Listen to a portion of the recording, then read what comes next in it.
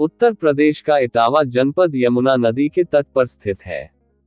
इटावा के वर्तमान इतिहास की बात करें तो हम कह सकते हैं कि ये जनपद राजनैतिक दृष्टि से पूर्व मुख्यमंत्री मुलायम सिंह के चारों ओर घूमता है। लेकिन यदि जनपद के ऐतिहासिक पृष्ठभूमि की बात करें तो ये राजा सुमेर सिंह के इर्द गिर्द घूमता है। राजा सुमेर सिंह का किला इटावा की ऐतिहासिक धरोहर का महत्वपूर्ण हिस्सा है। जनपद के बाहर लोगों को इस किले के बारे में शायद ही कोई ज्ञान हो।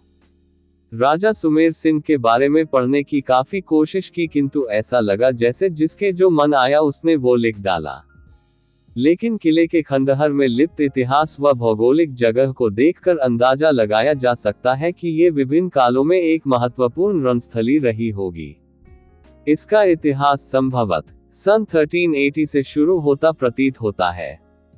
जिसे राजा सुमेर सिंह का किला प्रचारित किया जा रहा है, वह किला नहीं है, बल्कि सरकार द्वारा बनवाया गया वीआईपी गेस्ट हाउस है।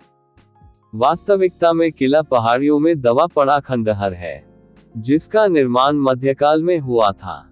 राजा सुमेर सिंह अपनी वीरता और नेतृत्व के लिए प्रसिद्ध थे। राजा सुमेर सिंह का किला प्राचीन भवन शैली से निर्मित है। इसका प्रमुख आकर्षण यमुना नदी के किनारे स्थित एक विशाल टीला है, जिस पर यह किला अवस्थित है। किला जमीनी स्तर से बहुत ऊँचा है। पहाड़ी पर जाकर इसके बेहतरीन दृश्य का आनंद ले सकते हैं। राजा सुमेर सिंह के किले पर एक बारादरी थी, जिसमें ग्यारह दरवाजे थे। इस बारादरी की वास्तुकला इतनी अद्वितीय थी कि लोग इसके दरवाजे गिनती करते समय भ्रमित हो जाते थे। राजा सुमेर सिंह के किले का निर्माण सुरक्षा के महत्व को ध्यान में रखकर किया गया था। किले में सुरक्षा की दृष्टि से सुरंगों का निर्माण किया गया था, जो विद्रोही और आक्रमणकारियों से बचाव के लिए प्रयुक्त होता था। कई सुरंग ऐसी भी थी, जो किले के भीतर से बाहर जाती थी। इस सुरंग का प्रयोग राजा और रानी द्वारा यमुना नदी में स्नान करने के लिए किया जाता था। ये सुरंग विशेष रूप से धार्मिक और सामाजिक कार्यों के लिए महत्वपूर्ण थी।